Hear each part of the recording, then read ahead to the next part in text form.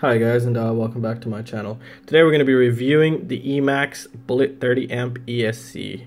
So this is going to be a very interesting one uh, since it's just so tiny. It's, it's unbelievably tiny. Like let me just show you in comparison. That's just this one's small too. So I don't know how this is going to stack up. So first let's just take a look at what it comes with. It comes with the clear heat shrink wrapping which is awesome and it comes with the Emax stickers. Now let's put these guys on the side. So this is rocking a BB2 chip, which means it can run DShot 600, possibly right out of the box, no modifications needed. I don't think there's going to be any modifications here. Uh, what we're going to do is actually we're going to compare noise, voltage drops, and voltage spikes between this guy and this guy, the Racerstar 35 amp ESC. Since they're in the same price point, that should give us kind of a good reference. Um, and we should see how that's going to turn out, and that's how it's going to be. So let's get started.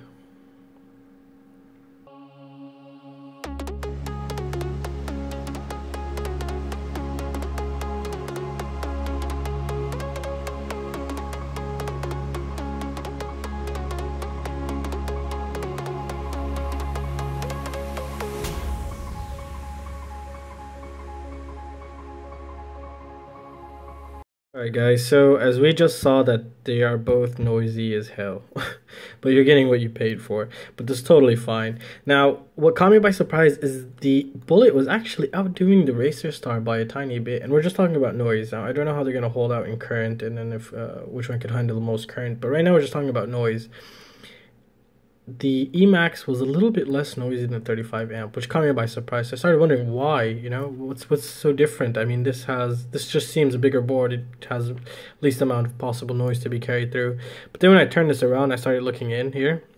I found this guy right there. It's a tantalum capacitor, which is basically like a low ESR capacitor in a sorts of way, and it's actually filtering out some of the noise frequencies, just a tiny bit of them, which is which why it seems that this guy is a little bit better than this guy. And in, to, in the truth, that he is a tiny bit better in the noise perspective and the and um, frequency noise filtration. This guy's a little bit better just because of that little one guy right there.